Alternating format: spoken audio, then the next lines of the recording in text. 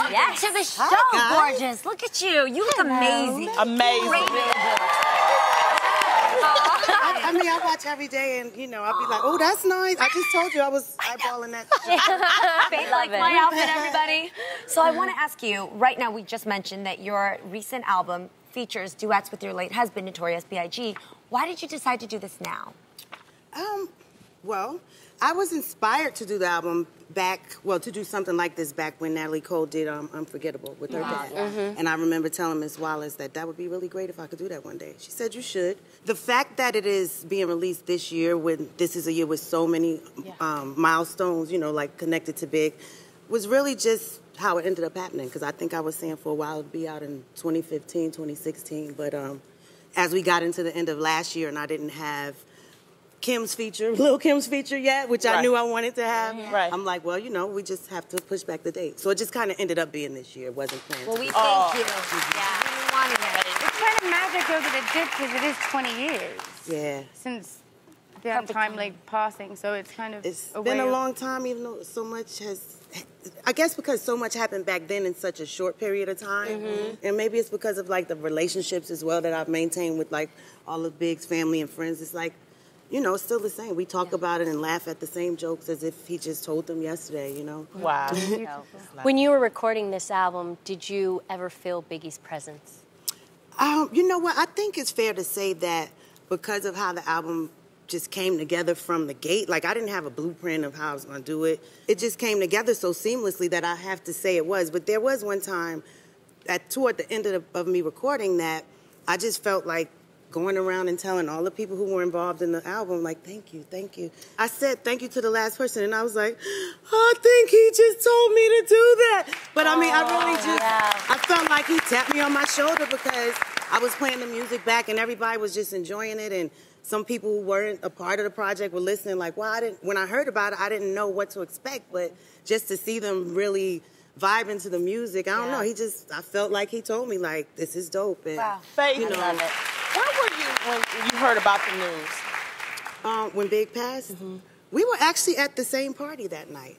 Oh. Um, and the, we had a really crazy rebelliousness toward one another. We were separated at the time, but our son was just a few months old. And, um, you know, we kind of ignored each other throughout the night in the party.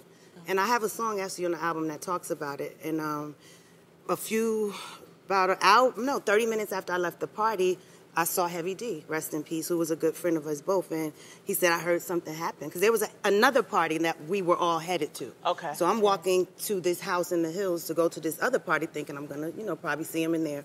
And I ran to Heavy when he said something happened to Big. I immediately went to the hospital. And I could just tell that the looks on everyone's faces that it wasn't a good outcome, you know. All right. But yeah, we were at the same party um, Wow. that night, just kind of knowing each other that we were there, and you know, I glanced over at him and vice versa. He sent someone over there to check on me, but we just didn't quite Right. say anything to each other that Yeah. night. Wow. Wow. Now, after Biggie's death, uh, you actually performed an emotional tribute to him at the 1997 MTV Music Awards. For me, this is hands down one of the most memorable Yes. moments in music history. I will, I will never That's forget dope. being at home. I recorded it on VHS, played it back a million times. It's an incredible moment for music, and I'm sure it was an amazing moment for you. But I understand you almost didn't do it. Well, I can't say that. I, if it, if I had my way at the time, I, I, I didn't want to do it because when Puff came to me to record this song, he's like, "I want to do the biggest tribute ever, and I want some of the proceeds to go to C- CJ and T'yanna," and I was all in, Yeah. not really thinking beyond that moment. Yeah.